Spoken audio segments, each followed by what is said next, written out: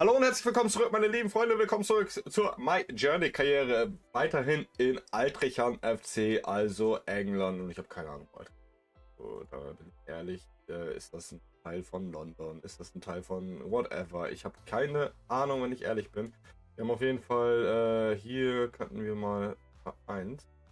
Gründungsjahr 3400 Fans läuft hat. Bezeichnung Rotkehlchen. Okay. Mediendrück Druck äh, normal. Moss Lane. Website www.altrichamft.com. Ich habe also keine Ahnung, wo Altricham ist, ob das eine eigene Stadt ist oder wie äh, hier Tottenham, da so ein Teil von London einfach.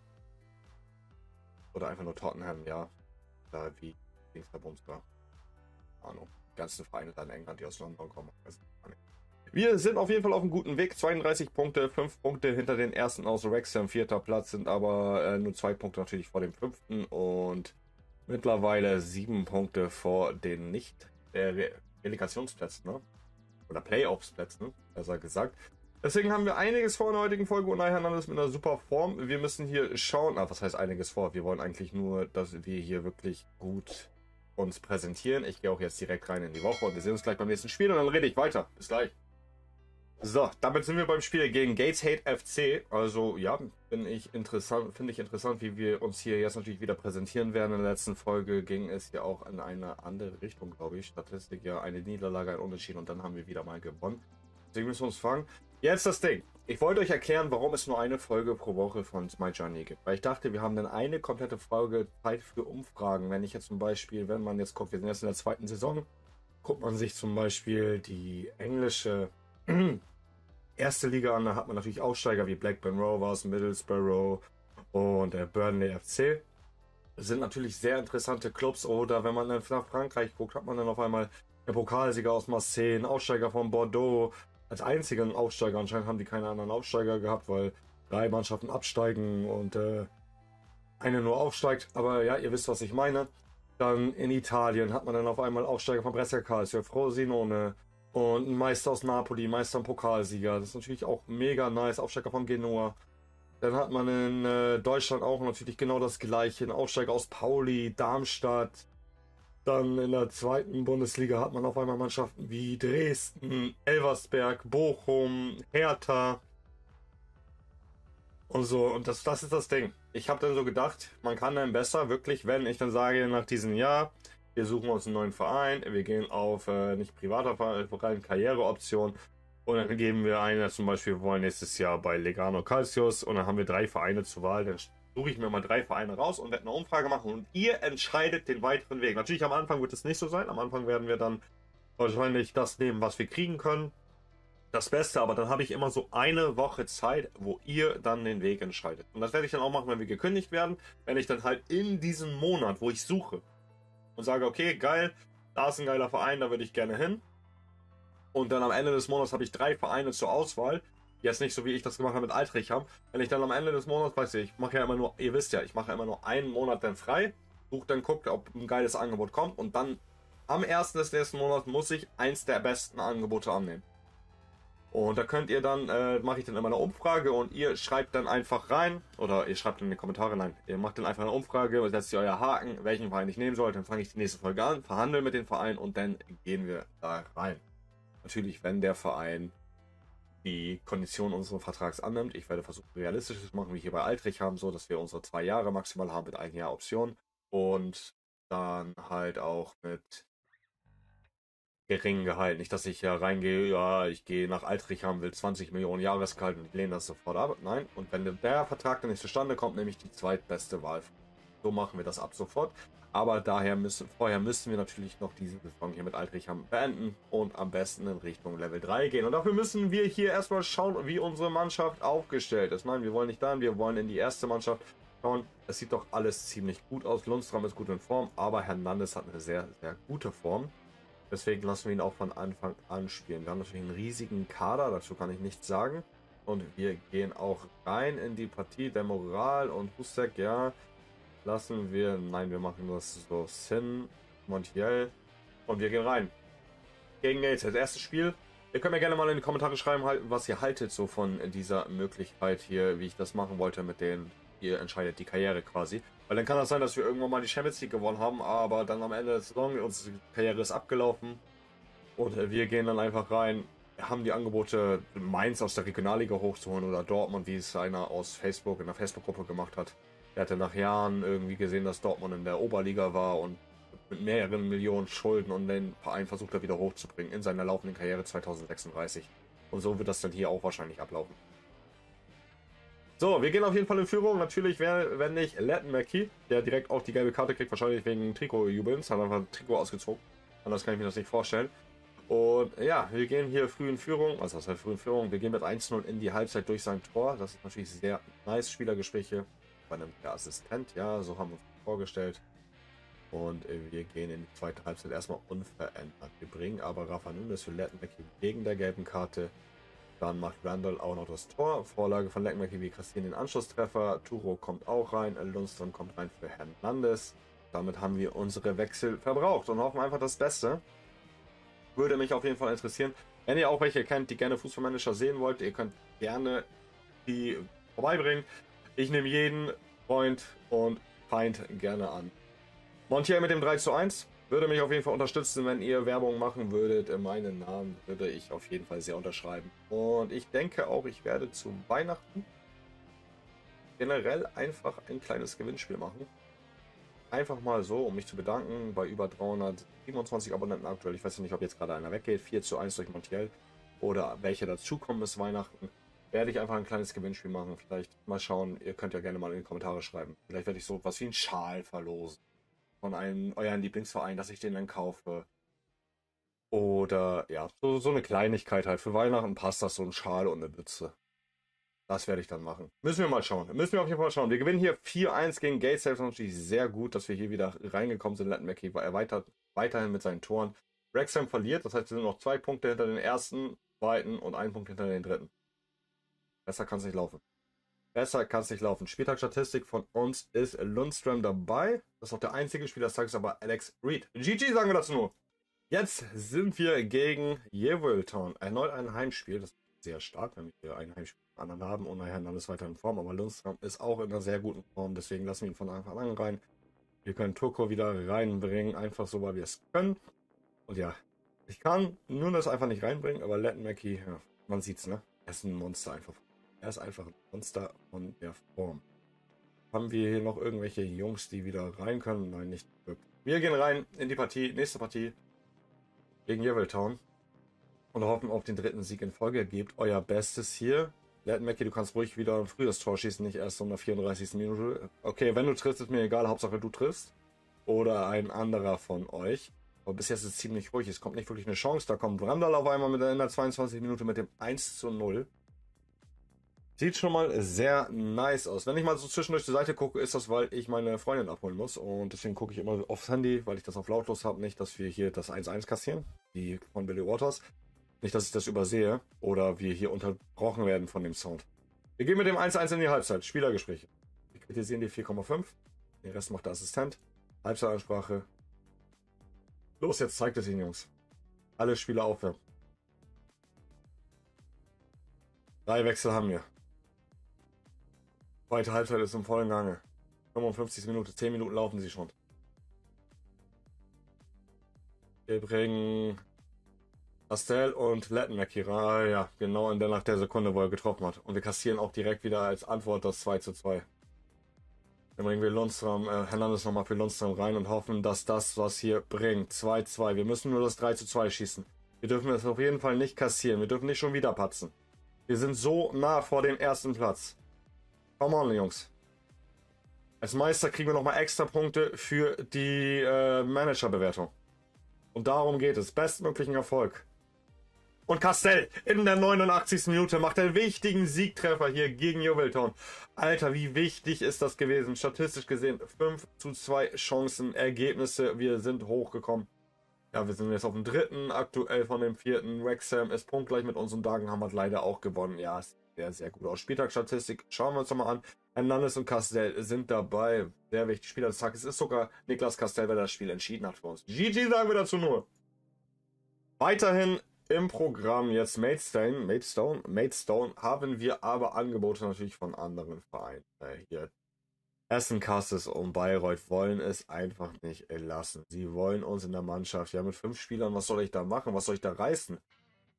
Historie. Ihr wart ein Jahr lang dritte Liga, seid direkt abgestiegen und seitdem haben wir, seit 16 Spielen haben sie nicht mehr gewonnen. Aber seit 18 Spielen haben sie nicht mehr verloren. Was ist das? Acht Spiele, acht Unentschieden und dann 22 Niederlagen. Das war deren Saison in der dritten Liga. Beste Leben. Und jetzt in Liga 4 stehen sie auch nicht so gut da. Wir haben einen interessanten Spieler, Madara hier, Stefan Madara, aber sonst ist die Mannschaft Dreck. Wäre natürlich ein sehr, sehr interessantes Projekt, weil wir könnten uns da komplett eine neue Mannschaft aufbauen, wirklich auf den kleinsten Details. Wir müssten die komplett aufstellen, aber das mussten wir hier mit Altricham auch.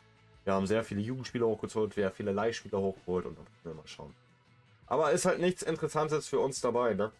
Der Hauptsponsor war ein bisschen genervt, weil wir keine äh, Freikarten gegeben haben. Geben wir den jetzt mal ein bisschen Freikarten. So, nächstes Spiel, 500 Plätze.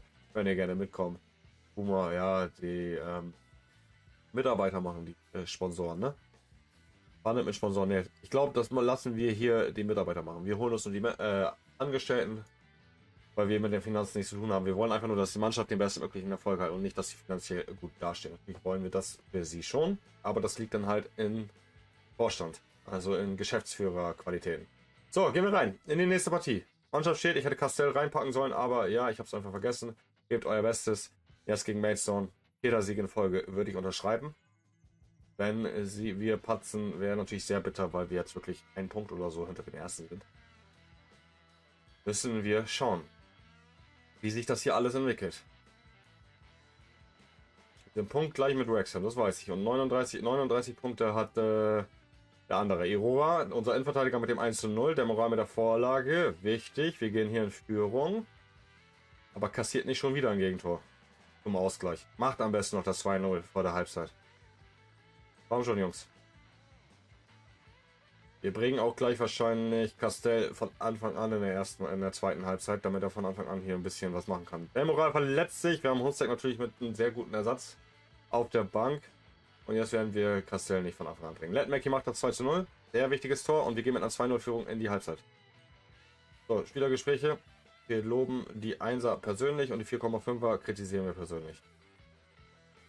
Und 5er natürlich. Lasst uns genauso weitermachen, dann fügt sich alles zusammen. Zwei Wechsel habe ich noch. Da kommt Castell wahrscheinlich gleich rein, direkt für äh, Turco. Außer der macht hier noch der, bis zur 60. irgendwas, wo ich denke, wow, Lettenmackie. Mit dem 3 zu 0. Aber nein, Lettenmackie ist unser Typ, der Tore schießt. Deswegen können wir Castell jetzt mal reinbringen. In der Hoffnung, dass er was bringt. Wir haben noch Nunes, der kann reinkommen für Randall, einfach weil wir es können. Und hoffen, dass wir das hier jetzt so gut über die Zeit bringen. Castell macht sogar noch mal das 4 zu 0. Der bewirbt sich wieder für die Startformation.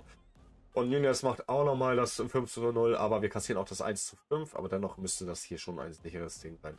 Wenn wir hier jetzt noch krass verlieren würden, wäre krass. Aber nein, Nunes macht 6 zu 1.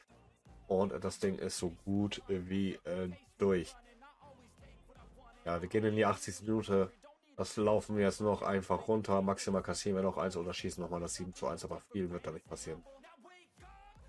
Nein, und da ist auch der Schlusspfiff. Wir gewinnen 6 zu 1 gegen Maidstone. Das ist natürlich sehr gut für die Differenz gegen Wexham. 1 zu 17 Chancen, Let Mackie Spieler des Spiels. Ergebnisse, wir haben Wexham nicht überholt. Dagen haben wir überholt. Und das ist sehr gut für die Differenz. Wir haben 34, die 39 und wir sind punktgleich mit dem ersten und ein Punkt vor dem zwei, äh, dritten und vierten und vier Punkte vor dem fünften. Das ist schon mal sehr nice. Spieler, äh, Spielerstatistik. Die Elf des Tages. Led Mackie und Lundström sind dabei. Spielersex aber Francesco Bombaghi. Sagen wir nice. Äh, G, G. Der siebte aus Chesterfield. Da sind wir zur Gast. Ja, wir müssen hier natürlich weiterhin alles geben, um die Waxhammer hier zu überholen. Ja, natürlich hier noch äh, generell da, wo ich sein sollte. Da. Die Waxhammer zu überholen. Die müssen selber ran gegen Wellstone. Und Wellstone steht natürlich. Wir müssen jetzt gegen Wellstone ran. Wellstone ist. Kann nicht in der Liga, doch Sechster sind. Also wir gegen den siebten und die gegen den sechsten. Unentschieden bei denen wäre gut, dann könnten wir Wellstone auch weiter von uns fernhalten und halt Wexham überholen. Natürlich wäre aber besser, wenn Wellstone gewinnen würde. Dafür müssen wir erstmal selber alles geben. Und nachher eine 17er Form. Aber Lundström ist auch in der Form. Labosetta hat eine 13er Form. Und Nunes hat eine 16er Form. Alter, ich kann dann nicht wirklich entscheiden, wen ich da spielen lassen kann. Ist ja unglaublich. Haben wir Karriereoptionen nochmal. Ein paar Vereine, die uns äh, sich für uns interessieren. Nein, nur Tennis Borussia Berlin, Bonner SC und hier halt die ausländischen Mannschaften. Ja, ja. Ja, ja, unser Vertrag läuft gut. Wir können unseren aktuellen Vertrag nochmal angucken. Klausel haben, hat niemand mehr. Ich kann nicht verlängern, die können nicht verlängern. Und wir haben 64.000 Grundgehalt. Wie sieht das denn aus in unserem privaten Bereich aktuell? Von Familie haben wir nicht. Wir haben 108.000. Können hier nochmal ein bisschen in der Wohnung investieren. 1400 kriegen wir aktuell. Fahren dann auch noch hier luxusmäßig. Haben wir One TV Mac Pro. Sprachassistent. Brauchen wir sowas? Ne, das haben wir schon. Nintendo Switch. Sprachassistent, Nintendo Switch, E-Roller, Tischfußball, iPad. Gemüsegarten. Komm, wir fangen an mit dem Gemüsegarten. Aquarium brauchen wir auch, natürlich. Eine Buddha-Statue. Ein Pizzaofen. Ein Planschwägen. Wer braucht, wer braucht schon wer kein Planschbecken? Das ist das Wichtigste überhaupt. Boxsperre, eine Regendusche, eine Sonnenbank. Das brauchen wir alles. Auf jeden Fall würde ich hier kurz eine Pause machen. Einen Moment. Da bin ich wieder. Die Sonnenbank war das letzte, was wir gekauft haben. Wir können nochmal gehen auf den Schlagkäfig. Wäre geil. Würde ich auch bei mir zu Hause haben wollen, wenn ich ein eigenes Haus hätte. Habe ich leider noch nicht. Aber egal. Wir gehen jetzt in die Mannschaft rein. Die Mannschaft steht soweit. Wir gehen ins Spiel. Chesterfield läuft. Sofortberechnung, fünfter Sieg in Folge wäre das optimale Ergebnis. Und wir hoffen, dass wir hier weitermachen können. Armano Dobra macht aber uns, legt uns Steine in den Weg. 16 Minute 1-0 für Chesterfield. Das ist sehr, sehr bitter. Aber wir kommen. Ein bisschen Stress machen wir gerade. Ich hoffe, dass äh, Let Mackie hier noch einen aus dem Hut zaubert. Vor der Halbzeit. Ich will nicht mit einem Rückstand in die Halbzeit gehen. Am besten wäre natürlich Führung, aber unentschieden würde ich auch unterschreiben. Worst-Case-Szenario wäre halt noch eine höhere, ein höherer Rückstand. Aber Lundström und Let Mac hier, er hat einen auch so gezaubert, eine Vorlage. Lundström mit dem 1 zu 1 in der 24. Minute, sehr stark. Damit ist das wenigstens ausgeglichen und Castell legt auch mal einen drauf. 2-1 Lundström mit der Vorlage. Sehr wichtig und damit gehen wir mit einer Führung in die Halbzeit anscheinend, wenn das jetzt weiter so gut läuft. Aber Chesterfield kommt auch gerade wieder ein bisschen. Hoffen wir nicht. Nein, wir gehen mit der Führung in die Halbzeit. Sehr gut. Sehr, sehr gut. Assistent übernimmt das. So haben wir uns das vorgestellt. Wir führen wieder. Alle Spiele aufwärmen und wir können ja gleich ein bisschen was reinbringen. So, wir haben Labosetta, wir haben Lundström, Montiel, Finn. Lunes kommt rein. Rui, ja okay, macht auch nochmal ein Tor. Labosetta kommt rein für Randall. Und wir, wir machen es einfach. Wir bringen mal für Montiel hin. Einfach die Offensive komplett austauschen. Labosetta einfach mit einer 38 jetzt. Grimes mit der Verletzung auf äh, Gastgeberseite ist natürlich besser. Gute Besserung von unserer Seite auf jeden Fall. Und wir gehen in die Schlussphase. Die letzte Viertelstunde ist angebrochen. Wir führen noch mit zwei Toren. Ich hoffe, wir können das am besten ausbauen. Weil wir halt in die Richtung gehen, Dingsterbumster, Wexham zu überholen. Aber wir kassieren noch das 2 zu 3. Es wird hier nochmal spannend. 80. Minute, 10 Minuten noch äh, mit Torführung nur. 88. Chesterfield macht weiter Druck. Die gelbe Karte bringt sie nichts. Bringt ihnen nichts. Und wir gewinnen 3 zu 2 gegen Chesterfields SC. 5 Siege in Folge. Besser kann es nicht laufen. 7 zu 9 Chancen. Ergebnisse. Wir haben Wexham überholt, weil sie unentschieden gespielt haben. Sie haben wirklich unentschieden gegen Wildstone gespielt. Und damit sind wir erster ein Punkt vor Walsall, zwei Punkte vor Wexham und vier Punkte vor Dagenham. Sehr, sehr nice. Spieltagsstatistik schauen wir uns nochmal an. Von uns ist niemand dabei. Spieler des Tages ist Jordan McGuire Drew von Euratown. Was haben wir noch eins? GG. Jetzt kommt der Banger. Direkt gegen den zweiten. Nachdem wir gerade den ersten überholt haben und selber erster geworden sind, müssen wir jetzt gegen den zweiten. Und wir können uns auf vier Punkte absetzen. Und das wäre so wichtig. Ja, Labosetta und Nunez sind alle in Form, die ganze Mannschaft hier ist in Form. Wir haben noch einen Matissin in der Form, also ich kann eigentlich gar nicht auswechseln. Wir können uns nochmal die Nachrichten gucken. Die ganzen Assistenten werden neue, äh, werden neue Trainer, Mannschaft der Woche und ja, es sieht, es sieht sehr, sehr gut aus. Wir haben 145 Punkte, 100 Stück, 105 fehlen uns noch. Sind aktuell in der Siegesserie wirklich von äh, ja, 5 Spielen in Folge, 44 Punkte, 22 Gegentore, 57 Tore geschossen. Haben Wechseln halt immer noch nicht eingeholt von den Gegentoren her, von der Tordifferenz her, aber das ist auch nur Tore. Und jetzt müssen wir hier gegen Walsall FC alles geben. Das letzte Spiel der heutigen Folge. Ich bin gespannt, wie wir das hier machen. Kämpft um jeden Ball, er geht da raus und macht sie am besten fertig. Nimmt sie komplett auseinander. Castell hat auch Bock. 1 zu 0, vierte Minute. Del Moral mit der Vorlage. Jonas Rui kriegt nochmal die gelbe Karte. Das ist natürlich sehr bitter. Früher gelbe Karte für den Linksverteidiger. Könnte in die falsche Richtung gehen, aber wir geben ihm halt die Halbzeitzeit. Torform Mendiel mit dem 2 zu 0. Castell mit der Vorlage. Also der ist wirklich on point heute, der Spieler. Wir gehen langsam in die 30. Das heißt, wir haben zum größten Teil die erste Halbzeit schon erledigt, hinter uns gebracht. So, jetzt kommt die Schlussphase. 15 Minuten noch. Bringen wir die 2-0-Führung über die Zeit oder bauen wir das noch aus? Das wären die zwei Situationen, die ich unterschreiben würde. Kein Gegentor, das ist das Wichtigste. Nein, wir bringen sie so über die Zeit. 2-0-Führung. Rui geht runter. Jimenez kommt rein als Linksverteidiger. Können wir die beiden austauschen? Ja, das macht sogar mehr Sinn. Wieder Gespräche. Wir haben eine 1,0. Die loben wir natürlich. Und das, das ist Halbzahnsprache. Lass uns genauso weitermachen, dann fügt sich alles zusammen. Die restlichen zwei Spieler machen sich warm für die zweite Halbzeit. Wir gehen. Wir spielen ein gutes Spiel. Nun es kommt rein für Randall. Wir kassieren direkt das 1 zu 2. Wir bringen nochmal Toko rein für Castell und hoffen, dass wir das hier jetzt über die Zeit bringen können, weil es wäre ein sehr, sehr wichtiger Sieg. Sie müssen jetzt halt noch ein Tor schießen, um auszugleichen. Und das wollen wir halt verhindern. Sie haben ihre Wechsel auch zum größten Teil durch. Einen, einen können sie noch machen, glaube ich. Ja, da ist der letzte Wechsel. Und wir kriegen nochmal die gelbe Karte in der Innenverteidigung. Bitte. Wir gehen in die Schlussphase. Was passiert hier jetzt noch? Letzten vier Minuten. Bringen wir es über die Zeit. Es kommt nochmal Walser mit dem Angriff. Aber das ist Schluss. Wir gewinnen gegen den zweiten. Sehr, sehr wichtiger Sieg auf jeden Fall. Dazu kann ich nichts sagen. Castell und Montiel sichern uns den äh, Sieg. 7 zu 7 Chancen. Ball ist unser Keeper, ist der wichtigste Spieler auf dem Platz, beste Spieler auf dem Platz. Ergebnisse schauen wir uns an. Wir gucken auch nochmal direkt auf Dagenham. Dagenham hat gewonnen, ist jetzt auch 400. Wrexham hat äh, erneut verloren und wir sind jetzt vier Punkte vor dem zweiten und dritten. Spieltagsstatistik schauen wir uns auch an. Davon ist Lundstrom und Ballis sind dabei. Spiel des Tages aber Zipri von Islay FC. Läuft hart bei dir. Wir sagen dazu nur eins, GG und wie gesagt, würde ich auch die heutige Folge hier beenden. Ich bedanke mich bei euch fürs Zuschauen. Wenn es euch gefallen hat, lasst gerne eine Bewertung da. Ansonsten sehen wir uns in der nächsten Folge wieder, wo es weitergeht mit äh, der Rückrunde. Und, äh, Tuchel ist jetzt Manchester City Trainer oder Newcastle Trainer? Okay, krass. Ja, sehen wir uns in der nächsten Folge wieder. Mal sehen, wie wir das Jahr beenden werden. Das werden wir in der nächsten Folge auf jeden Fall machen. Wenn es euch gefallen hat, lasst eine Bewertung da. Bis zum nächsten Mal. Lasst ein Abo da. Haut rein und ciao.